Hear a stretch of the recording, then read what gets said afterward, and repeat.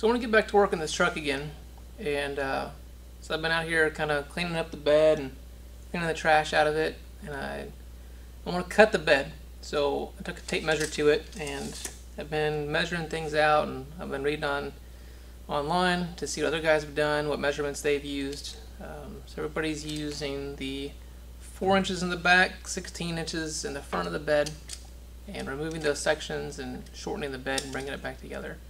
Um, so this seems like a pretty intimidating project, but after taking the measuring tape to it and looking around at the bracing underneath it and what's under the bed, the flat sections in the frame underneath there, this doesn't look like too bad of a project. And I really want to see if we can do it in a weekend. Just like the average guy in his garage, can he unbolt the bed, measure it out, cut it, cut the frame, and bring it back together, and minus the drive shaft, have a rolling chassis again by the end of the weekend. Um, after I've taken some, I put some tape on this thing and marked out where my cuts would be and kind of walked through where the braces were. Um, this looks like it's pretty doable. There's not a whole lot of hardware to remove. Uh, the rusty bolts will be a pretty good challenge it looks like. If you had an exhaust that went the full length of the truck, you'd have to somehow cut and section that or just remove it. Um, and then pulling the pulling the trim off, my trim just uh, just fell off. I was trying to measure around it, noticed that it was just flopping and held on by like two small clips here. Uh, I'm not sure how it made it home actually on the trailer. I'm surprised it didn't just blow off on the highway somewhere. But nonetheless, it didn't. Uh, emblems are here, trim's still here. So I'll kind of walk you guys through where I'm at now and what my plans are. And I'll see how far we can get. So I think what I'll do is walk through what I've measured out, kind of a plan of attack, and then start pulling these rusty bolts out. The aftermarket bumper has to come off. The I think there's eight bed bolts I counted. Those have all got to come out. And then put a couple supports in here and work on lifting this bed off. So here's my plan of attack. So I've got 16 inches that I want to pull out between these tape marks here. This truck has got an extra gas tank that runs like a big length underneath the bed here. Uh, so I have to pull that out. The nice part is that this hole that you might have to contend with otherwise is just erased now because we take this whole section out. Uh, luckily for me, if I cut it here, I lose this body damage and then hopefully we can pull this body line and this body line back together. I've got a kind of a nasty little dent here. I'm going to try to get my friend who does PDR to come help me out with. But it looks like there's only four braces that are bolted to the frame. So I marked those here in blue so we can hopefully understand like we're looking at the end of a brace here. So just trying to paint like a visual image of kind of what you would see as the, the skeleton of the truck here. Um, so there's a brace one, brace two, brace three, and brace four, five. And the rear one back here is not really a brace, but more of a, a place where it just bolts to the frame. Uh, so if we go back to the front and look at this big section we're looking at cutting out, um, this is a brace only. This is not actually any place that the bed physically bolts to the frame. Uh, everywhere else it looks like the frame, the frame and the bed would both come together here. So this hole would stay lined up and with the frame as it is locked in place here and moves forward. So there would be no, no re-drilling of holes here or anything. So, but this brace will come out. And if we look at the, I was concerned maybe it's going to make it kind of weak. Um, so I think here to here was around 26, 27 inches. I forget exactly the measurement. But then the distance in the braces over the axle back here is actually longer. So I don't think it's going to be a problem because this brace here is going to slide 16 inches closer to the front brace now, so I think it'll all work out and be plenty strong. This truck's not going to haul anything anymore. I'm not going to stack any giant heavy loads in or anything. So the whole point of that was to kind of try to give you guys an idea of, what the bed it would look like structurally underneath. So you guys around what I've done. Alright, so here's the back. And I've been junkyard shopping. I got a good deal on a rusty old tailgate.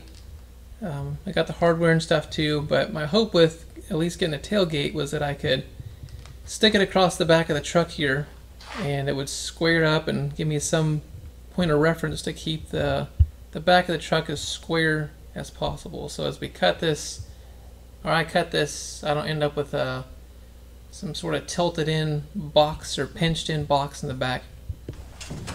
So here's the inside of the bed where that filler neck goes through. So there's actually a big hole that either Ford or the dealership, whoever installed that bed cap there, cuts in the bed floor to run that filler neck down through there. Uh, it, just, it just so happens that's right in line with the 16 inches that we want to remove from here to that tape mark there. So that whole section, oops, trim, of the bed would essentially disappear. So that hole would just be gone. Um, I realize a lot of guys don't have this uh, extended mileage tank, um, but for those of you that have one, at least you can follow along here and see what I do to solve the issues of dealing with it.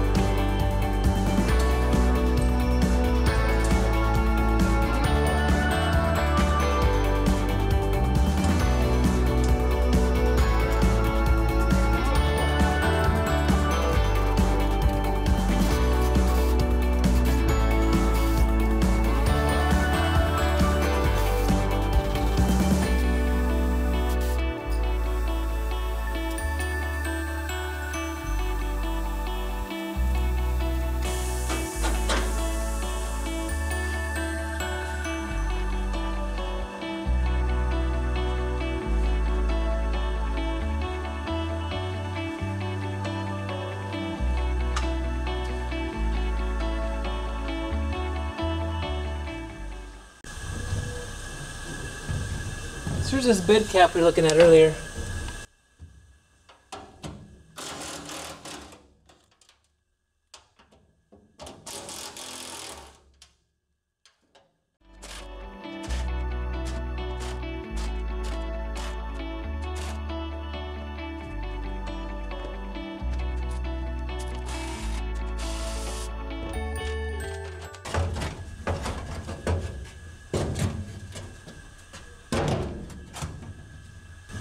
Can see, just a big old giant hole. Looks like they cut out the cutting torch or something almost. Just goes straight down to the floor there. That filler nut comes up through there and the vent line's there. But yeah, you can see the ground.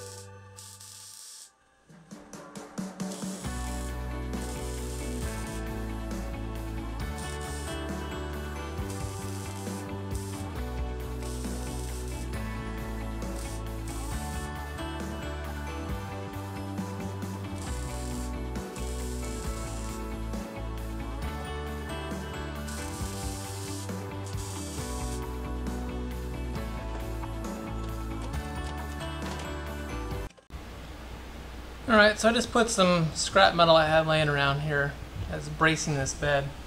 And what I did is just put a piece here behind where I'm going to cut. So here's uh, brace and then the yellow marks you can see we're going to cut from here to here and cut this front section of the bed out. This will stay with the bed and then when we're done we'll just cut this out. And then same with the rear, piece of scrap metal.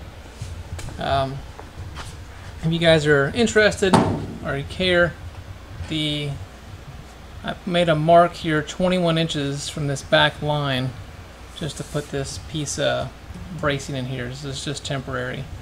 Um, but if you want to follow and use the same measurement, you certainly can. It seems like it's going to work out okay because we're going to cut back behind this section here. So this part of the bed will fall off temporarily. The brace will stay with the main wheel well section of the bed here.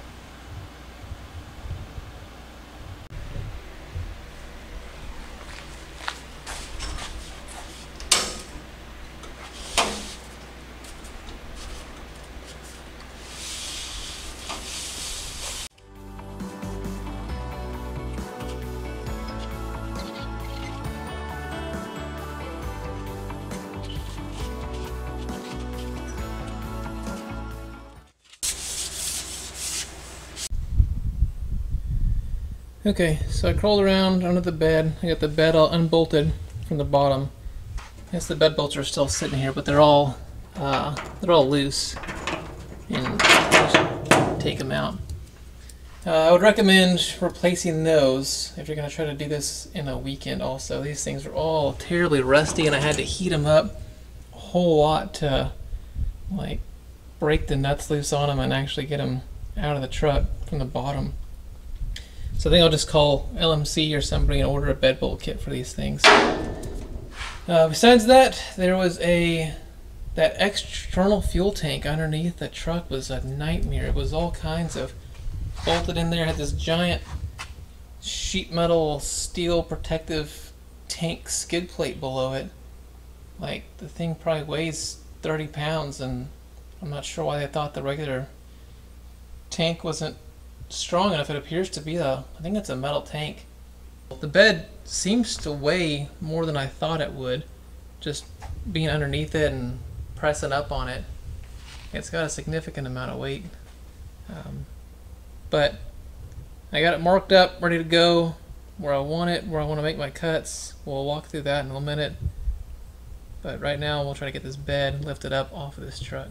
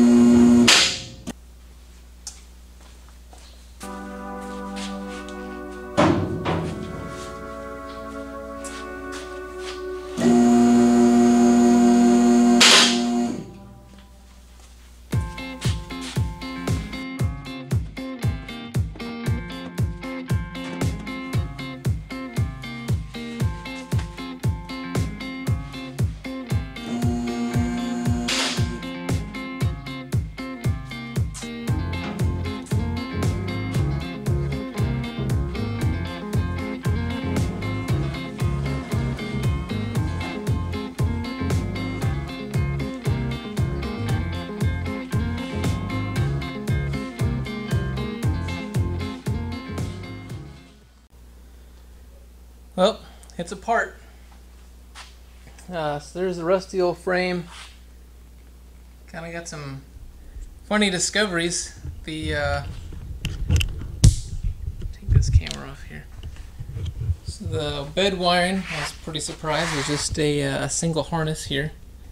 So the one harness for brake lights, turn signals, uh, tail running lights is one plug that just disconnects here, so that makes the uh, the wiring for the bed come apart pretty easily. I had one bolt here that I didn't realize was still attached. I had to, had to cut that one to get it out, and it was still hanging down like in the structure of the bed. And started to lift the truck up with the lift. So once I did it, lifted the bolt up, I stuck a grinder in and cut it off. Uh, so this is kind of interesting here. It looks like they, uh, somebody along the way welded in this giant angle iron here and put like uh, build your own gooseneck hitch in this thing it looks like. So there was some giant plate that would mount here in the bed and there's some angle iron here. It's, it's thicker than the frame is. Like the thickness of the frame is, I don't know, it might be eighth inch or something. And this stuff is huge. It's like I don't know, 3 16ths, maybe quarter inch angle iron. It's monstrous. So here's that giant tank I was talking about. You can see the tank just goes from this cross member all the way up underneath the cab. Underneath there. It's huge. Uh, so I think I'm just going to take that tank out of there and like, maybe somebody will use it for something else. Maybe somebody like on a somebody building a truck that they want to put back to being original, or they want a camper special or something. I don't know what that tank goes to, if it was ever even factory equipment. The way it was put in there is kind of funny. There's some there's some pretty boogery looking welds like around there's brackets on bottom that hold the thing in. Looks like it's just a piece of square stock somebody cut open and there's some pretty boogery welds underneath the frame that bolt that thing into the mounting tabs there. Um, anyway, frame looks nice and clean, so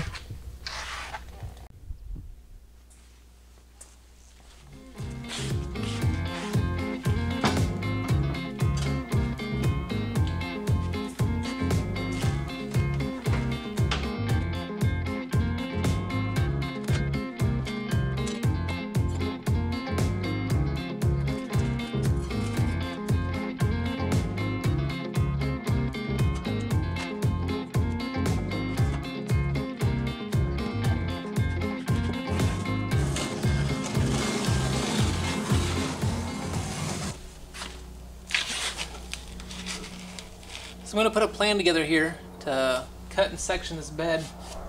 There's a couple brackets that are going to have to come out. This one bracket here looks like it's just for a tank. That auxiliary tank was hung by this bracket. So a couple bolts that'll come out. There's an exhaust hanger bracket on that side. Uh, they'll have to come out it looks like so we can section the bed. It might end up popping a few holes back to ring hang that exhaust. Um, Either way, that looks easy enough to do. So I'll pull those brackets loose. We'll get this frame cleaned up so that we can actually put some good marks on it and make a plan to cut and section this, this frame and, and slide things back together. And we'll have to figure out a, a good plan to Z-cut this frame and how to measure it out. And I think we'll probably draw it, maybe do a test before just to make sure everything's going to come together like I think it's going to. And then that way I only measure like nine times and cut once, so we don't have to try to weld the metal back on. Uh, anyway, cue the uh, fast forward action.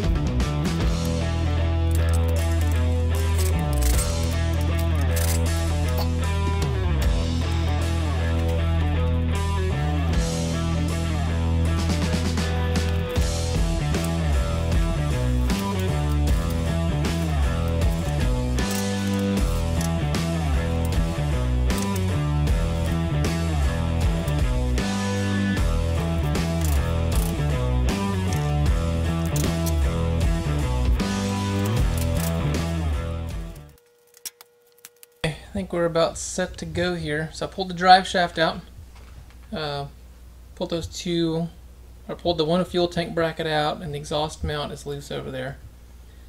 Uh, pro tip on pulling the drive shaft, pull the rear off the differential first, and then when you go to take those two U-bolt clamps off the two U-joints that tie the transmission to the drive shaft back there, uh, you can just spin the drive shaft by hand as long as the transmission's in neutral and you're not stuck trying to like roll the truck back and forth or anything.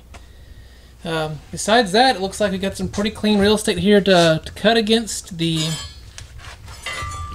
only other things to contend with it looks like are going to be a uh, brake line to shorten, which Ford already put a fitting here where it looks like they wanted you to shorten the bed. And so we can take this apart here, move this fitting back, reflare the line, and put it back together. We have to be careful not to cut this when we cut it.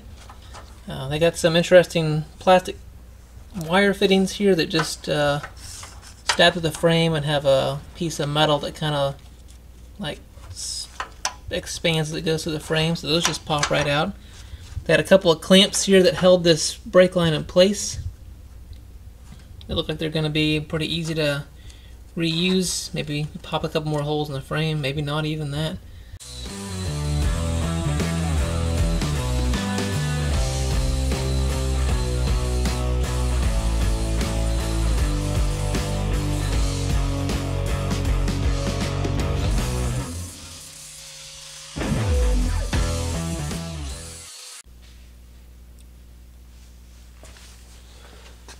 Okay, so we're going to go over how I'm planning to cut and section this frame. So the bed bolts down to this oblong hole here. So I'm going to come back off that hole about three quarters of an inch and then we're going to start laying a pattern out here.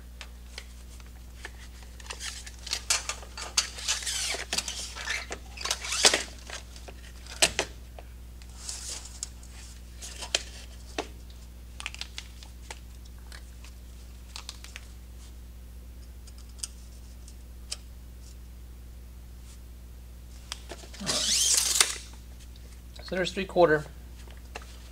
So now from here, we've got about 21 inches of the real looks like. So 21 inches from that mark brings us to here, it looks like.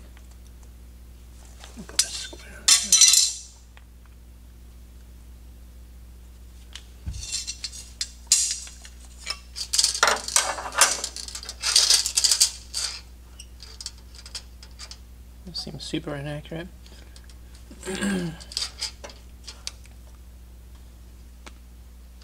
There's 21. I'm just picking 21 because it's a good section of straight frame here where got a nice flat top. We don't have any indentions to deal with. There's a like a indention that starts here. I like to stay out of the way of that out of the way of cutting a spring shackle. Um, I don't want to cut this front hole because this is the bed hole where the bed actually bolts down. And I'd like to not disturb that at all.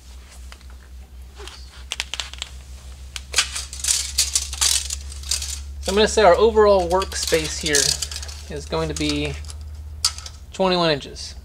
So the bed and the frame have to get shortened by a total of 16 inches. So you got 21 inches to work with. I want to do a Z a Z cut in the frame so that when the frames when the frame comes back together you end up with this like Z'd how does that look? This. So we take out these sections of the frame and it would slide together and become one frame again. And I'm hoping that gives us the most strength. Problem is, the math challenge here is taking 16 inches out of 21 inches and leaving the Z together. My plan was to like have a 32 inch straight section I could work with and just take like 16 inches out of here, 16 inches out of here, slide them together, and wham bam, done. Well, that's not exactly possible, and we only have 21 inches to work with total. Alright, so I'm just going to transfer this 21 inch mark down.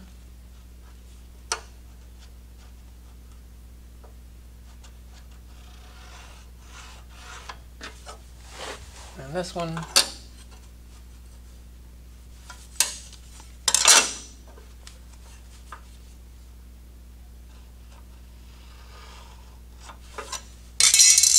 I'm using a chalk marker to do this, so I like these chalk markers. This is some bistro thing. I just steal these from my wife. I think she buys them at Hobby Lobby. She wonders where all her markers end up. They're all out here in the shop. Alright, so 21 on the money. So now I need to find the center point this way. You can't, the way I have the truck sitting, I can't just put a level on it because the it's sitting on the tires, so the truck has a good rake to it right now. So, so the truck's running downhill right now. So if you were to put a level on it, the level is going to give you this kind of weird cut that's not in line with the frame here. So I like to keep these these surfaces, obviously, of the frame. You want to keep these parallel when they come back together. Um, so to do that, I want to find the center point here.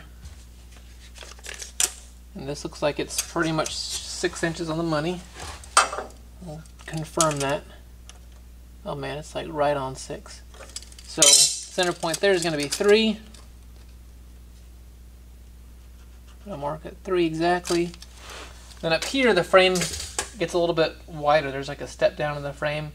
And you see most guys that cut these frames end up having to uh, contend with this little step down when the six inch part of the frame comes into this thicker part of the frame. I don't have a workaround for that, but we're going to work through it.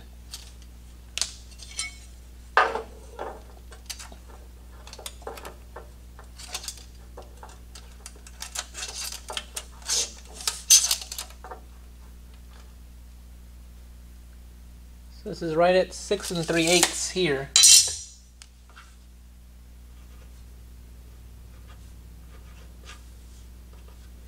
So six and three eighths here, and this was six inches here in the back. So the six and three eighths to find the center of that is obviously going to be three and three sixteenths, half of three eighths. So I'll put a mark at three and three sixteenths. Three, uh, three and three sixteenths. So now we find our center point, our center line of this frame here. So we know we got a good line to cut on for the top and bottom section of the Z. So now we have a center line of the frame. We've got equal parts top and bottom, even through here. So now we need to figure out how to how to z this thing. So 21, the difference in 16 and 21 is 5.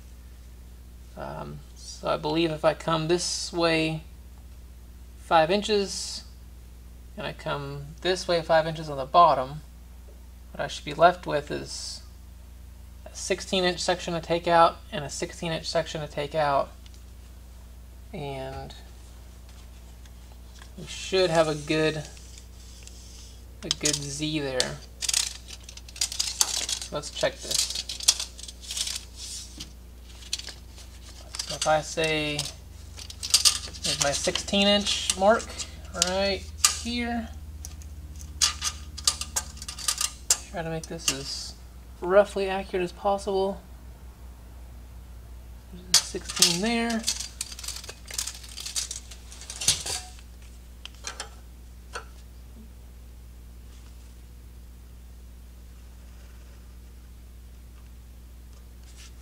Then in theory this should be 5 inches. It's remaining. And exactly 5 inches. So we got a 5 inch section and we got a 16 inch section. And then we'll do the opposite on the bottom section. 16 here. Line that up real accurately. Try to make sure we're good and straight. And square. 16.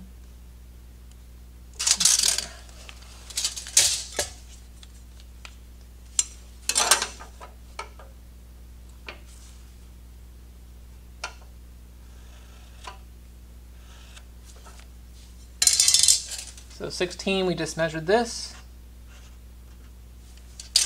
This should also be 5 again. Yeah, it's like on the money, 5.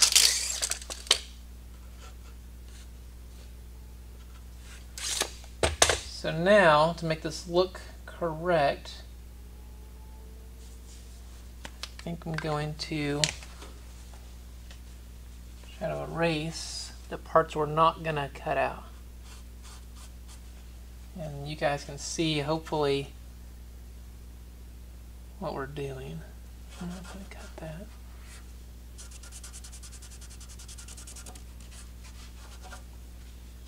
So now the pink sections will come out of here. And we can even erase like this line here.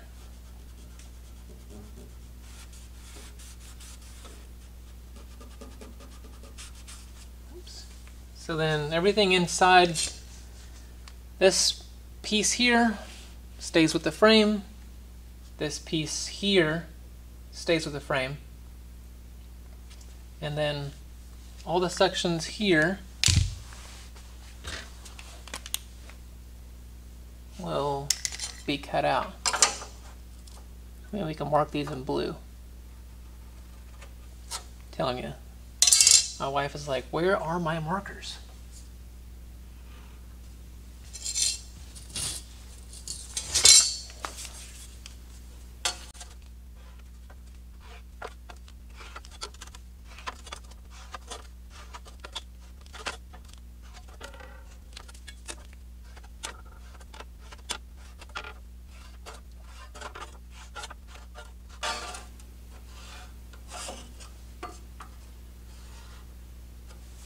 So then you can see all this stuff is going to come out of here and same thing on top. All this metal on top is going to come out.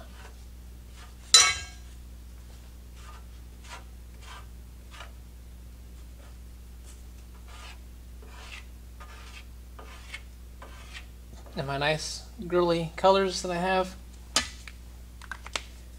So with a, a cut here, and I cut here and then down on the frame and then opposite on this side.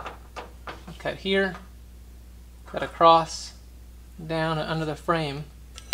Whenever this piece of frame touches this piece of frame we'll be removing so as this back section imagine it I guess it's like this. And this will be this way just slide forward. This piece just slides forward into this one. We'll be taking this end here, we'll be touching and stopping against this part of the frame here. So as we take that out, we're going to take out exactly 16 inches. And then same down here, when this part of the frame touches the existing part of the frame that's attached to the cab right now. Again, we're going to be removing right at 16 inches. And then, as these touch, we can dress these up, weld them up nicely, hopefully have some good strength there. Concern with this would be the distance from here to here, and then here to here. So as long as those are both 5 inches pretty exactly. When this lower wall touches the lower wall, in theory, the upper wall should touch the upper wall, and you shouldn't end up with one hitting and one having a big gap up here that you got to figure out how to how to weld in. So I'll just make sure that the five inches here is the same as the five inches here. Whenever you cut it, measure three, or four times, cut one time, and this should just come together and become one short bed. So I'll clean the other side off. I'll get it marked, uh, put some jack stands underneath here, and make some cuts, roll this thing together.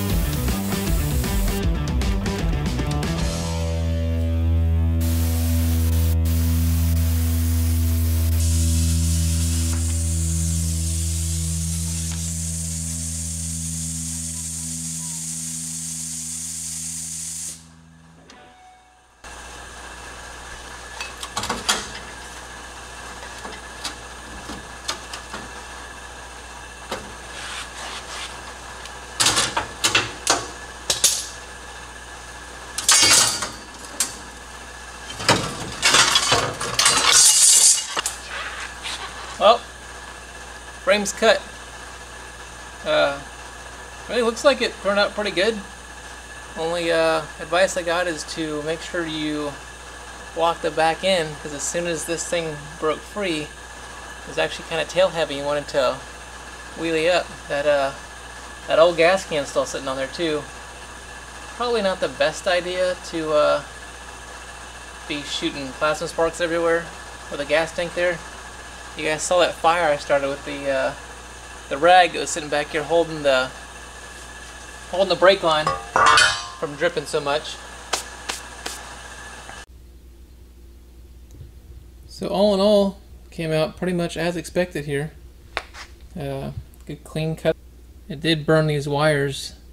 They go to the bed a little bit, so luckily we got 16 inches to clip out of here and shorten these up a little. Should be no problem. Looks like the looks like the brake line came out nice and clean. No problems. Um, all right. Well, moment of truth. Let's roll this thing together and see how well it lines up.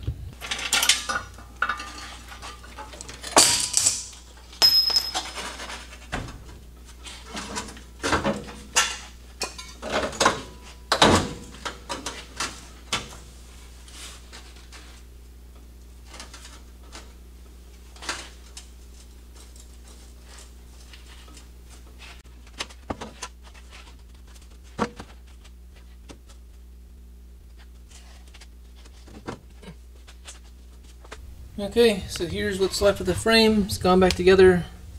I got a little out of control with my plasma welding on the bottom side here. We had a the tab was kind of had some excess. I needed to cut more off, so I cut a little more off with a grinder, and things drop right into place here. Um, everything looks pretty, pretty good. Um, you know, the frame is kind of a little bit lower right to here, but I think we just weld that and call it good. Same thing on top here. It's uh, a tad taller right here, but nothing that's gonna hurt anything. I say we just lay a nice thick weld bead through here, throw the bed back on here, and call it a day. I don't see any uh, any sort of need to try to go through and cut and section this and try to hammer it back down and risk trying to lower the front of the bed. What is that? An eighth of an inch maybe or something. In the front, I say just leave it and weld it in place and come back behind it and put a, uh, a plate back in here on the back side of each one. So I have to clean this off with a, a grinder a little bit. And uh, fill this thing back up. So then, I'm gonna make sure it's good and square before we weld it in place here. Uh, so I'm just gonna take a few measurements and a couple X or cross measurements from the original frame that's underneath the cab that we haven't cut on to the new section that's, well the new section, the shortened section that's now rolled up against the original section. Uh, so just minute to make sure we're good we're sitting good and square here before we weld it up. Uh, I used the very forward bed bed mounting holes to measure this in an X pattern and I just referenced those back to some of the existing um, more rearward bed holes and everything lines up very very well here. It, it looks like it's almost exactly where I wanted it. And it's almost perfect. So looks like we took exactly 16 inches out of each side of the frame and it rolled up just fine. I uh, found it best to use a ratchet strap. And I use a ratchet strap to tie again the bed holes together. I use the forward bed hole that's under the original frame underneath the cab and then I used the one of the rearward bed holes and the bed mount holes. And I put enough forward pressure on the two sections to hold them together. And then I put a floor jack underneath the rear axle and jacked it up just a tiny bit. And that seemed to take enough pressure off of it and like level the frame out that everything lined up very nicely. Um, a little bit of bitting and finishing with the flap wheel disc on the grinder. Kind of got those burrs out of there, little chunks, imperfections that that plasma left behind, and the thing pulled up pretty nicely. Kind of hog out those uh, the seams there with the die grinder so we can get a good penetration with the weld. Let that weld really bite into that frame material really, really good. And I'll go ahead and finish weld this. Make a couple plates to throw on the back side of uh, each side here just to reinforce these frame joints a little bit.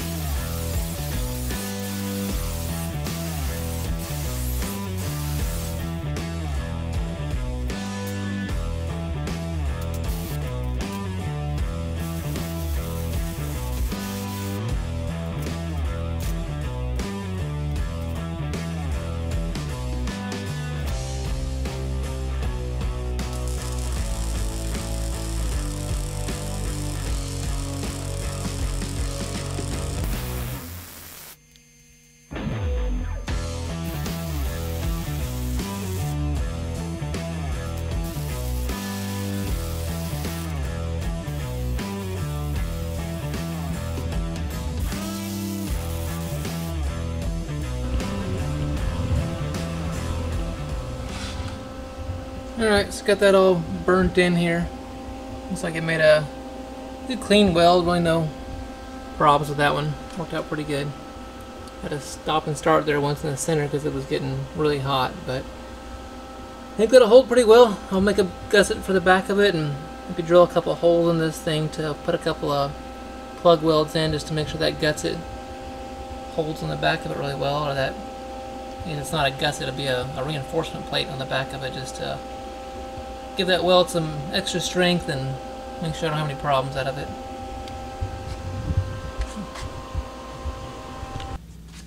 So I got both sides burned in now.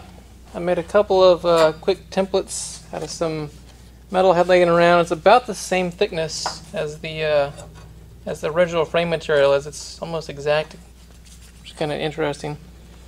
Uh, I just made the quick cardboard template. That's all I did here. Um, and if you guys want to kind of copy this, feel free to. So this was four and a half, sorry, four and a quarter inches tall and seven and a half inches wide. And I had some templates for my plasma cutter. I just cut a couple of uh, like 7 sixteenths or half inch squares out of there quickly. Just as I had a template and it's easy to just bust those things out of there.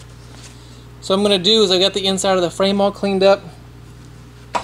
I'm just going to finish burning these in. And then I think the frame will be finished. So I'm just going to lay this plate in here.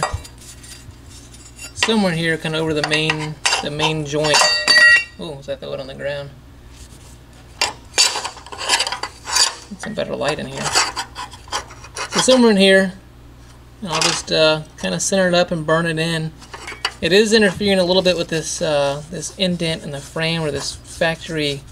Maybe that's some sort of a crumple crumple zone here. We saw that on the outside too, just this bump that we tried to not cut into when I sectioned the frame.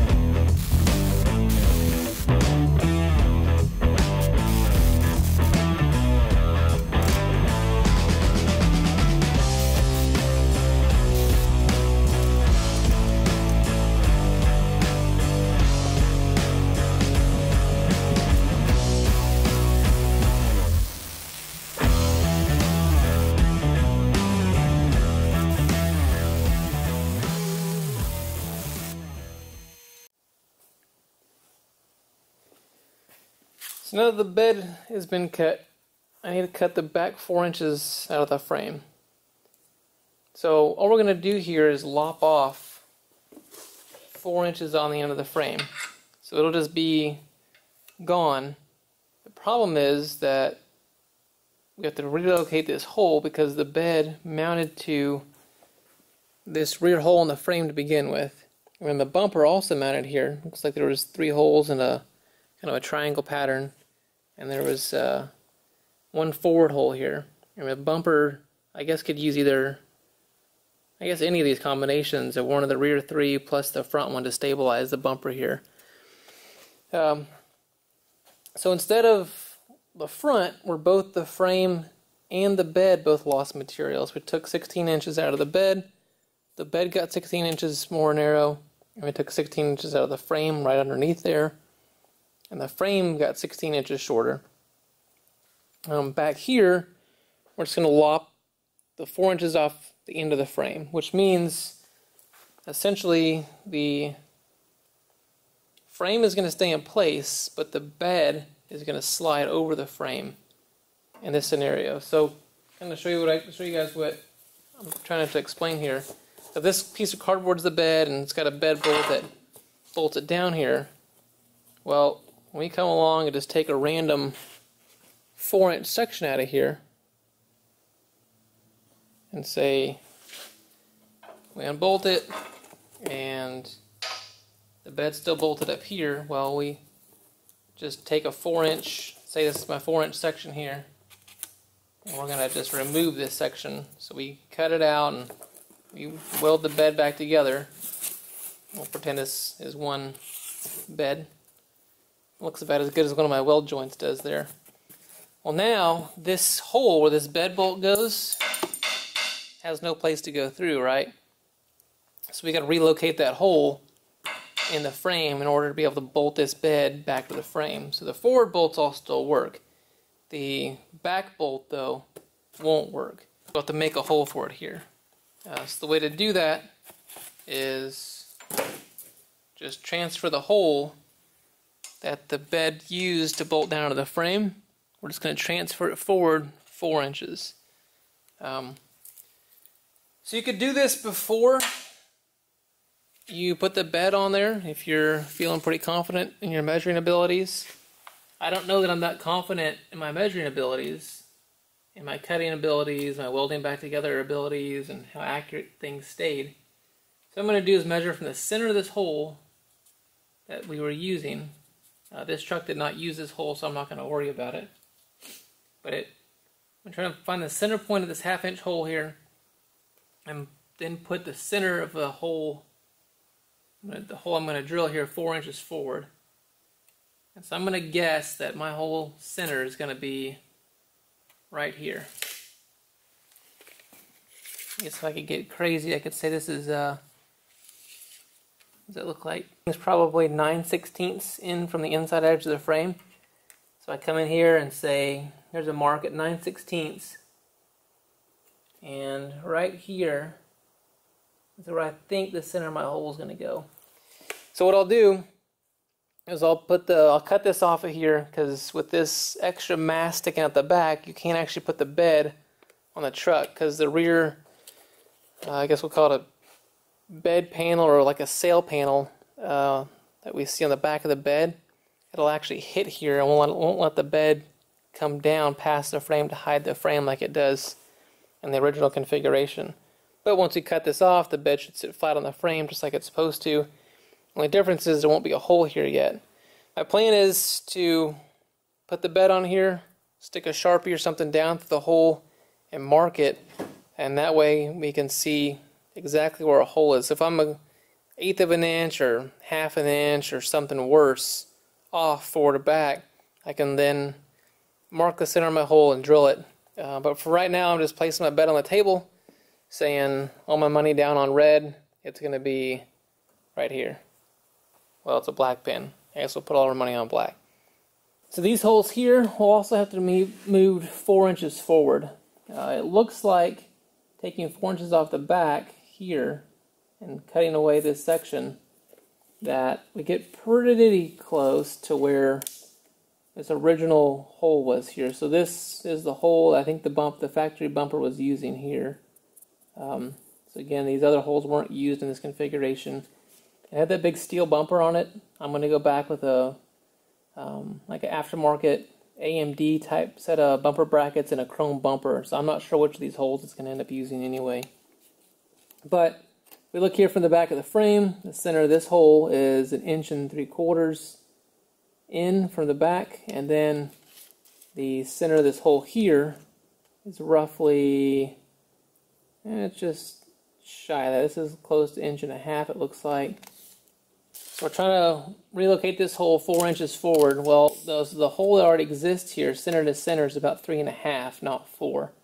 Um, so we could we could elongate this hole slightly, like by a half inch if we wanted to, and get the try to make a slotted um,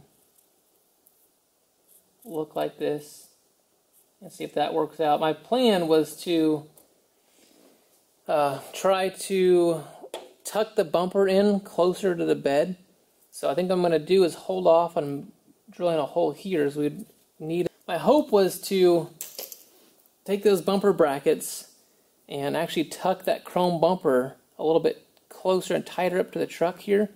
So I'd like to wait until I get those bumper brackets in and get the bumper, put it together, temporarily clamp the brackets in place and see where the holes fall and then punch the holes in the frame instead of trying to just transfer these marks four inches forward based on the amount of material we're going to lose here and take a gamble that it doesn't line up with the new bumper brackets anyway.